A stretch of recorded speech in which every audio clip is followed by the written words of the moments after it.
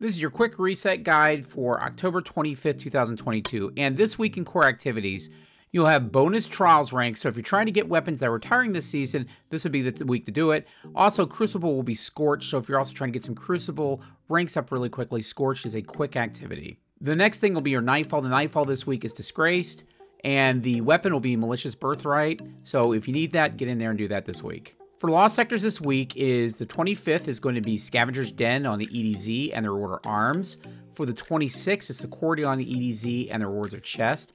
From the 27th, it's Excavation Site 12 and the reward is helmet. On the 28th, it's Concealed Void on Europa and the rewards are legs. On the 29th of October, it's Bunker E115 on Europa and the rewards are arms. For 30th of October, it is Perdition, and the reward is Chest. And for the 31st of October, it's a Conflux, and it is Helmet.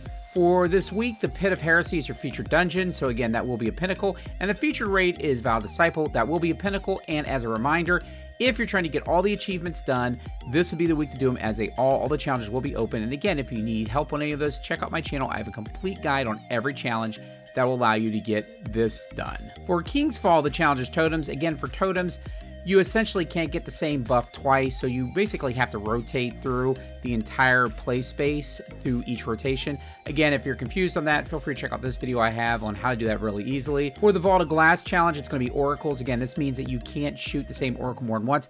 I have a quick video to really show you an easy way to do that through rotation. And finally, for Deepstone Crypt, it's going to be the Atraks Copy of Copies challenge, which is really, you can't blow off the debuffs through the airlock. So again, this one can get a little tricky. You're going to want to try to get through DPS as quickly as possible, but I do have a video on how to do this fairly efficiently.